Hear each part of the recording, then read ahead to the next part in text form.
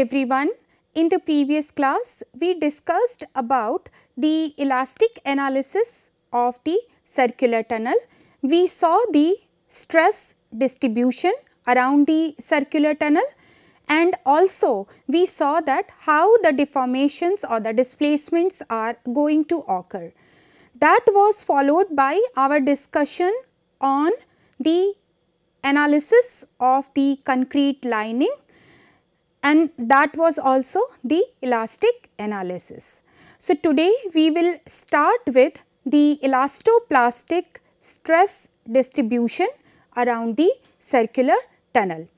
And here we will take the help of Tresca yield criterion in order to define the plastic region of the rock. Let us see how we proceed in this direction. This resemble to a problem of circular hole in an infinite plate. In case of the incompetent rocks which are sufficiently plastic to deform without fracturing, such elastoplastic situation will be relevant. Rocks such as shales, phyllites, slates, limestones or dolomite, they exhibit elastoplastic behavior especially at high temperature, pressure and depths. So, this figure shows the geometry of the problem. You see that this is what is the ground condition. Here this is the intact rock and in this rock you have made the excavation in the form of this circular opening which has a radius of a. Then because this rock is in such a way that there is the occurrence of a plastic zone all around this cavity which is the circular tunnel and that has been represented by this blue colored curve. It has been assumed to be more or less circular. Why is it so? We will discuss that in detail just in subsequent slides and the radius of this zone from the center that has been taken as C. So, the rock which is beyond this boundary, this is in elastic zone and the rock in between the boundary and the cavity, this is in the plastic zone. So, this is what we call as the intact rock and here in this plastic zone that is from here to here, you will have the loosened rock. So, this boundary which is drawn with the help of the blue color is the boundary between the elastic and the plastic zone and therefore, we call this as elastoplastic boundary. As we discussed in case of the elastic analysis, in this case also any point in the rock is denoted by r comma theta where r is its radial distance from this center point O and theta is an angle which is measured from the horizontal in the anti-clockwise direction as shown in this figure. Coming to the loading condition, it is assumed that there occurs the hydrostatic in situ state of stress. That means that the vertical as well as the horizontal in situ stresses they are same. All the basic equations such as equations of equilibrium, compatibility and strain displacement relationship all these must be satisfied. Rock surrounding the periphery of the cavity to some extent gets loosened and yield and this results into the development of a plastic zone as I just explained you when we were discussing about the geometry of the problem. And C is defined as the radius of boundary between elastic and the plastic zone. Coming to some discussion on the plastic zone, the state of stress which is developed is such that it equals or exceeds the yield stress of rock immediately surrounding the periphery of the cavity. What does that mean? That is the material yield condition is satisfied and therefore, the surrounding rock enters into the plastic state up to a radial distance of C which we are calling as elastoplastic boundary. This elastoplastic boundary is circular. Why? Because the geometry, loading and the boundary condition of the problem they all are symmetric. So, for all those conditions like condition of equilibrium, compatibility condition everything should be satisfied. So, this elastoplastic boundary has to be circular. We are assuming this elastic perfectly plastic response of the rock which is characterized by a yield stress and it is assumed that rock which is immediately surrounding the cavity, it follows the Tresca yield criterion. It is not necessary that it follows the Tresca yield criterion, it can follow Mohr Coulomb failure criterion as well. But here as far as this lecture and the scope of this course is concerned, we will be restricting only to the Tresca yield criterion. However, the procedure that I am going to explain for the elastoplastic analysis is general enough and you can apply any failure criterion to represent the rock immediately surrounding the cavity. Coming to the material properties, beyond the elastoplastic boundary, the surrounding rock will behave in an elastic manner. As we have assumed that the rock is following Tresca yield criterion which is the maximum shear stress criterion. Take a look at this figure where sigma versus epsilon has been plotted.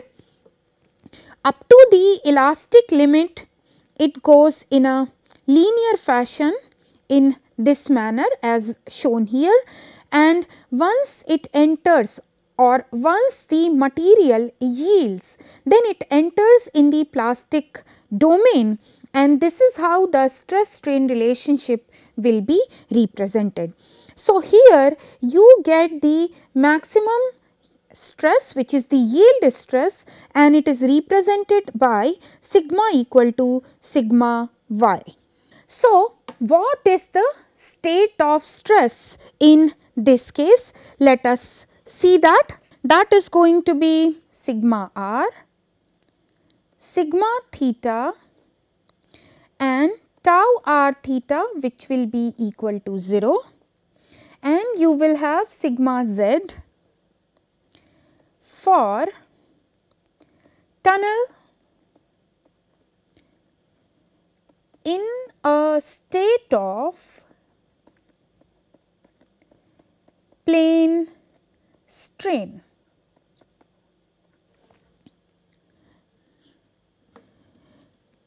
Then in the elastic zone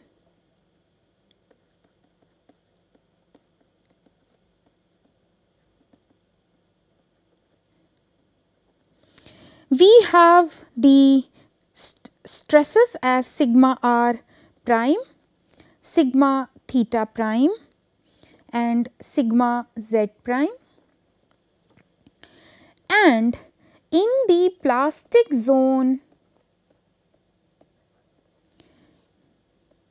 these are represented as sigma r double prime, sigma theta double prime and sigma z double prime. Now, what will happen to the yielding condition in the elastic zone is half sigma theta prime minus sigma r prime will be equal to kappa. And when this condition is satisfied, we would say that the yielding is taking place and then we can write this equation in this form that sigma theta prime minus sigma r prime is equal to 2 kappa. This is equation number 1a. What happens in plastic zone? We will have half sigma theta double prime minus sigma r double prime that would be equal to kappa. Here it is the yielding which is continuous or we can write it in this particular form this equation as sigma theta double prime minus sigma r double prime this is equal to 2 kappa. This is equation number 1b. Now, what are going to be the equations uh, for the equilibrium in the polar coordinate systems?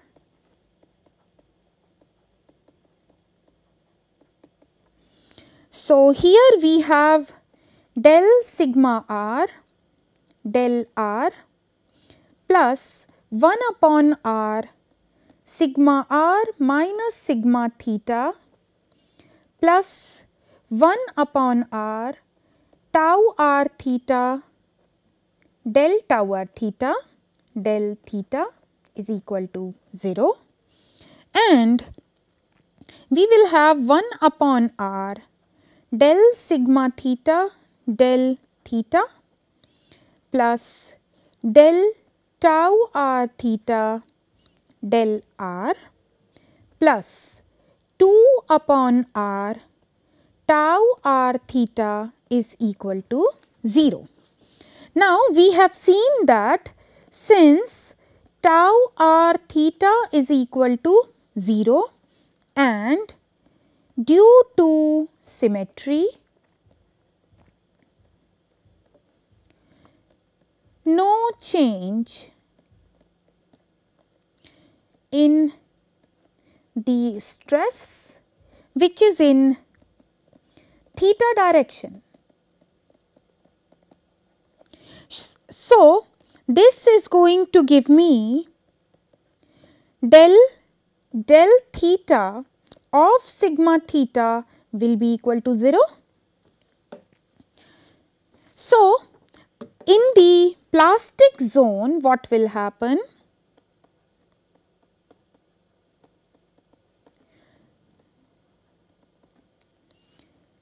del del r of sigma r double prime. Please remember that when we are representing the state of stress in the plastic zone, we are representing them by double prime plus 1 upon r sigma r double prime minus sigma theta double prime. This is going to be equal to 0 because tau r theta equal to 0. So, this is going to give me del del r of sigma r double prime. This will be equal to 1 upon r sigma theta double prime minus sigma r double prime. This equation I am marking as equation number 2. What will happen in case of the elastic zone. Similarly, I can apply that equation of the equilibrium. So, we are going to get del del r of sigma r prime will be equal to 1 upon r sigma theta prime minus sigma r prime that is equation number 3. Now, what will be the compatibility condition in the elastic zone?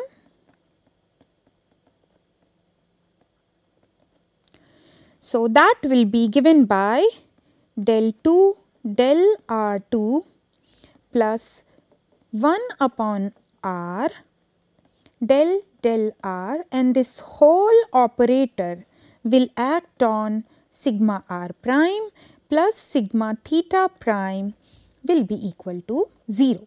This equation is going to be equation number 4.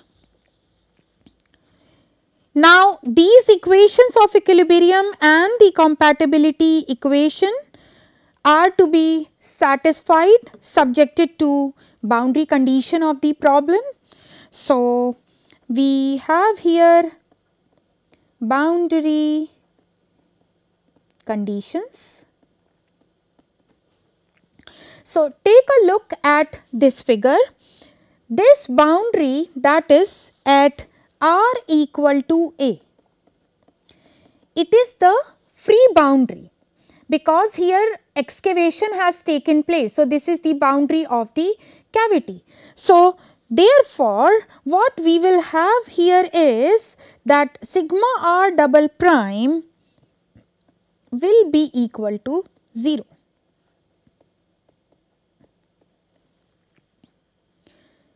Now, at the elastoplastic boundary, what is R at elastoplastic boundary? Which is this elastoplastic boundary? What is R here? That is at R equal to C.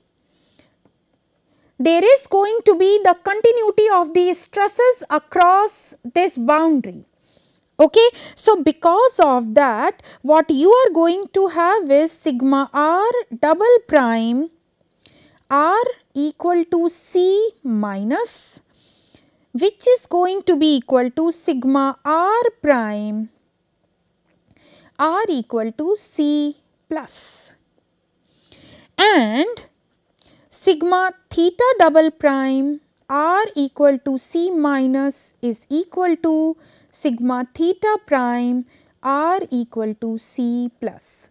Please understand that here this is the elastoplastic boundary and for th this system to be in equilibrium there has to be the continuity of stresses across this boundary. Now this when I say r equal to c minus that means we are somewhere in the plastic zone but very near to this elastoplastic boundary. When I say r equal to c plus we are in the elastic zone but again we are near to the elastoplastic boundary. That is what is the meaning of these r equal to c minus and r equal to c plus. That is we are at the boundary but just inside and just outside the boundary what exactly is going to happen. So, this equation I am calling as 5b. Why we are writing for r equal to c minus sigma r double prime because when r equal to c minus we are in the plastic zone and in the plastic zone we are representing the state of stresses with double prime. Now, the next boundary condition is that at sufficiently large distance from the periphery of the cavity, what will happen? What does this mean that I say that R is tending to infinity? We have seen in case of the elastic analysis that at r tending to infinity, the stresses are going to be equal to the in situ stresses. So, that we can write as that sigma r prime r tending to infinity will be equal to sigma theta prime at r tending to infinity which is equal to p make this equation at 5c. When I say r tending to infinity essentially this is going to be in the elastic zone and therefore the state of stresses are being represented by single prime. This P is the applied hydrostatic stress. What is A? This is the radius of the cavity and C is the radius of boundary between plastic and elastic zones as it has been shown in this uh, figure.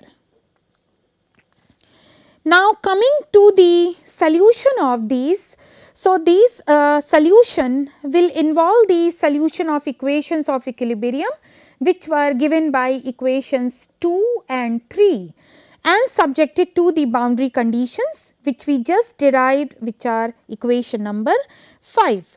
So, what we will do is we just substitute these yield condition given by 1b in equation number 2 what we get is del del r of sigma r double prime is equal to 1 upon r into 2 kappa. This is 6a. Now, you integrate this equation. So, integrating equation 6a we are going to get sigma r double prime that will be 2 kappa ln r plus a prime. Now, from equation number 5b, what is uh, your uh, sigma r prime at r equal to a that is what is your equation number 5b. So, we have 2 kappa ln of a plus a prime this will be equal to 0 and therefore, from here we can determine this a prime as minus 2 kappa ln a. Now, substitute it here in this expression and what you will get is sigma r double prime will be equal to 2 kappa ln of r upon a because this minus uh, sign will make this to, uh, a to the power minus 1 and this term and this term can be combined. So, this equation I am making it as 6. Now, I substitute this equation number 6 in equation 1b.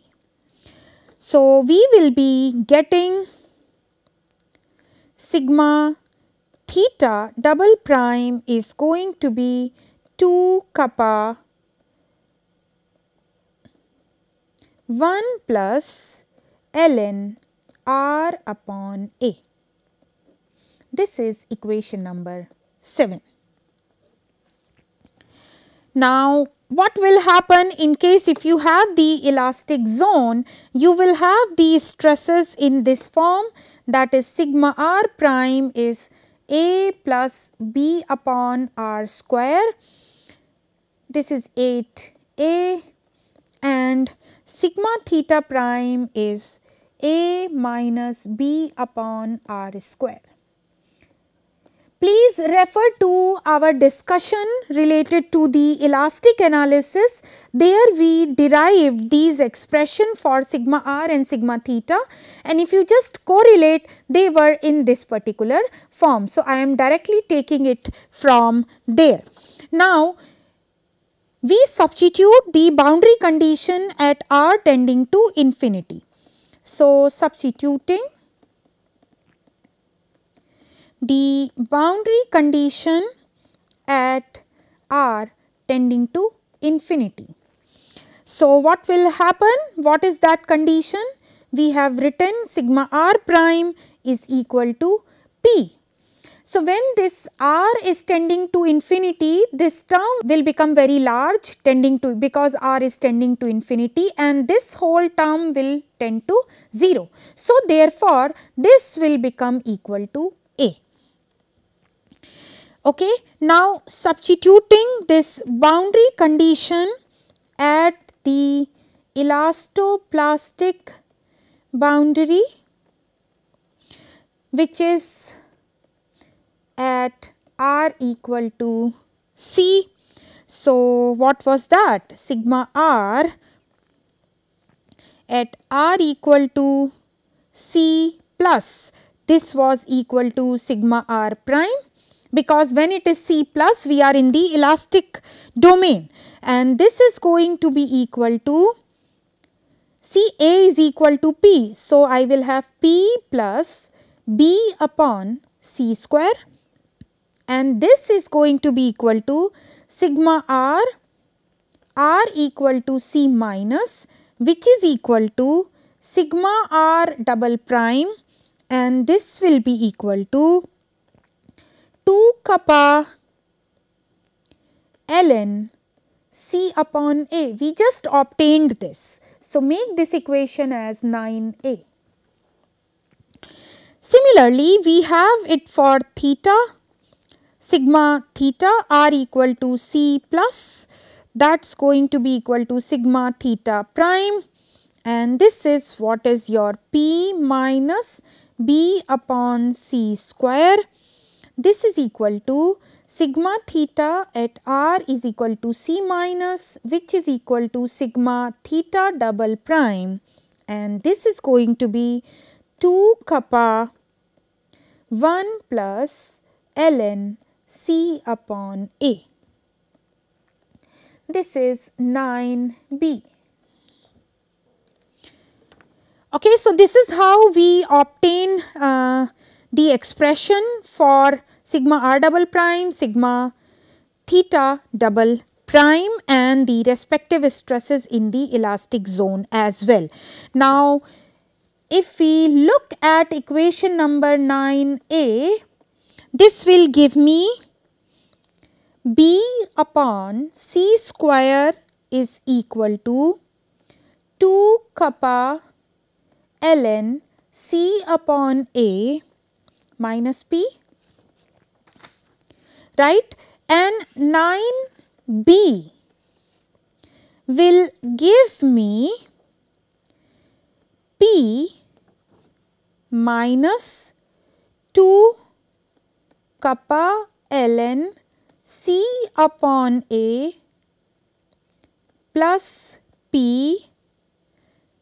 that is going to be 2 kappa 1 plus ln C upon A. Or what we will have see throughout this 2 will get cancelled because this P and this P will make it 2P. So, ultimately we will have P minus kappa ln C upon A is equal to kappa 1 plus ln C upon A. So, from here we can write that P upon kappa is equal to 2 ln C upon A plus 1 or I will have 2 ln C upon A is equal to P upon kappa minus 1 and this also can be written as ln C upon A that is P minus kappa upon 2 kappa and from here I can get C is equal to A exponential of this quantity which is P minus kappa upon 2 kappa. So, this is how the radius of this elastoplastic boundary is obtained in terms of the other quantities. And therefore, what will happen to this B? That is going to be now C square. You have 2 kappa ln C upon A minus P. So, we just substitute uh, the expression for uh, this C. So, this is what that we are going to get A square e to the power 2 p minus kappa upon 2 kappa and then this quantity that is 2 kappa ln c upon a minus p. So, just uh, solve this. So, this 2 and this 2 will get cancel out. So, ultimately what you are going to get here is a square e to the power p minus kappa upon kappa and here again here I substitute the expression for C. So, 2 kappa ln then a e to the power p minus kappa upon 2 kappa this whole thing divided by a minus and here this a will get cancel out and you see here this is ln and exponential. So, this term will now can be written as a square e to the power p minus kappa upon kappa into 2 kappa it will simply be p minus kappa divided by 2 kappa minus p. So, ultimately we are going to get a simple expression for B as uh, minus kappa a square e to the power or let me write it in the exponential form that is p minus kappa upon the kappa. This equation I will write as equation number 10 and I already have the expression for C as a exponential of p minus kappa upon 2 kappa that is equation number 11. So, this basically defines the distance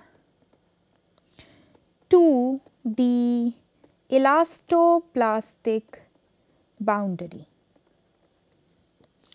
And this is a function of P, kappa and A.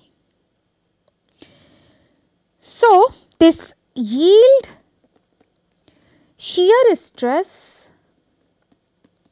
which I am representing by this kappa will be some fraction of this applied stress which is P. So, I assume that this kappa is equal to some fraction h of this applied stress P. Make it equation number 12.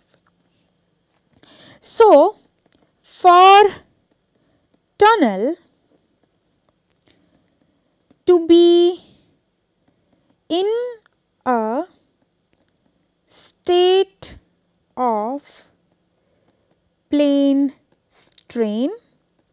Remember we are doing this derivation for this situation. This sigma z prime will be equal to nu times sigma r prime plus sigma theta prime and sigma z double prime is going to be equal to 0.5 times sigma r double prime plus sigma theta double prime. Now, why this 0.5 that in the plastic state your material becomes incompressible. And you know that for an incompressible material nu can be taken as 0.5. So, let us try to write the complete solution here. First I write in the plastic zone that is A less than or equal to R less than or equal to C. Your sigma R double prime is given as 2 kappa ln R upon A. Sigma theta prime is 2 kappa 1 plus ln R upon A. sigma z double prime is kappa 1 plus 2 ln r upon a or here we can write it in this form as well that is h into p and 1 plus 2 ln r upon a. These equations I am writing as equation number 13. Now, what will happen in the elastic zone? So, in the elastic zone your R will be greater than or equal to C. We are going to have this sigma r prime as a plus b upon r square. So, a we obtained as P and substitute the expression for B you uh, got just now. So, minus kappa A square exponential of P minus kappa divided by kappa. And from here you will get this sigma r prime as P into 1 minus h a square upon r square e to the power 1 minus h upon h. Here I have substituted this kappa as h into p and therefore, you will get this form. Similarly, your sigma theta prime will be p 1 plus h a square upon r square e to the power 1 minus h upon h. And sigma z prime will be nu times sigma r prime plus sigma theta prime and that would be equal to 2 nu p. It's very simple. So, first we will have here as equation number uh, 14 these three equations and we can write this radius of the elastoplastic boundary again in the form of this h as a e to the power 1 minus h upon 2h. This equation I will write as equation number 15. Now, what will happen when this h becomes equal to 1? Your equation 12 will become what? Kappa is equal to p and in that situation what will happen to sigma r prime? That will be p 1 minus a square upon r square and sigma theta prime is going to be equal to p 1 plus a square upon r square. This you write as equation number 16. Now, this equation 16 which we have derived here for the yield shear stress of the same order of the magnitude as the applied hydrostatic stress that means when kappa becomes equal to P. The state of stress in the rock surrounding the periphery of the cavity will be completely in an elastic state. You can have a look here on the equation number 16 and if you just compare the result with the elastic analysis you will be able to have that idea that right now it is the completely an elastic state.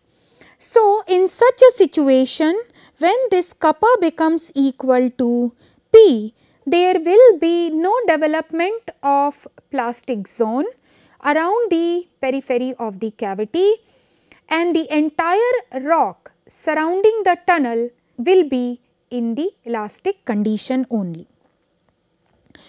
This equation 16 can be interpreted in conjunction with the equation 11 in which C will be equal to A when this kappa becomes equal to P that is for H is equal to 1 and C equal to A. This suggests that elastoplastic boundary will shift its position to the periphery of the tunnel and hence the entire rock which is surrounding the tunnel will be in the elastic state. Now, the variation of both radial and the tangential stresses with the distance from the periphery of the cavity has been shown in this figure. Let us try to see some of the typical feature with respect to this stress distribution one by one. So, here we are taking 4 cases 1, 2, 3 and 4, the first case corresponds to when h is equal to 0.2, second case is for 0.3, third is for 0.4 and the fourth case h will become equal to 1. You can see here that it is written. So, when this is the fourth case as we have seen this is going to be fully elastic situation. So, as the magnitude of the yield shear stress increases, that means for these three values you can see as this is increasing from 0.2 times P to P. The radius of elastoplastic boundary or the extent of the plastic zone around the periphery of the cavity reduces because when it is equal to 1 we have seen that it is going to be completely elastic. And that is also shown here that C by A in the first case you can see that it is quite large which is let us say about uh, 7.3 something here. Then in case of C by uh, in case of the second case that is when it h is equal to 0.3 it is further reducing and when this is increased to 0.4 that is h is increased to 0.4 this is further reduced to somewhere close to 2 and when you have the fourth case obviously this is going to be equal to 1. So, at the periphery of the cavity what does that mean? That is R is equal to A. So, this ratio R by A equal to 1 and then you can see that here this axis we are plotting R by A and here it is sigma by P. So, this is what is R by A equal to P. So, we move along this line if you want to see what is the situation at the periphery of the cavity. So, take a look here that this stress concentration factor which has been plotted on this axis, it increases from 0.4 to 0.8 as the ratio of yield stress to the in situ stress that is kappa upon p which is equal to h is being increased from 0.2 to 0.4. So, you see that for the first case here h is equal to 0.2. So, this at the tunnel periphery the stress concentration factor is 0.4 and for this case when h is equal to 0.3 it increases to 0.6 and further increases when you further increase this h to 0.4 and it increases to 0.8. So, some of these salient features you must keep in mind. Now, even though the stress concentration factor at the boundary of the opening is less than 1. We have seen that it is 0.8, 0.6 or 0.4. The tangential stress at the boundary. When I say tangential stress means I am talking about sigma theta. This sigma theta is less than the in situ hydrostatic stress which is P the tangential stresses in the rock beyond the elastoplastic boundary they are always higher than the corresponding stresses if the entire rock mass were to be elastic. Try to understand this. If the entire rock mass were to be elastic, this is what is the variation of sigma theta with r by a. See, this is the fourth case. Now, take a look at these respective curves beyond these respective dotted lines.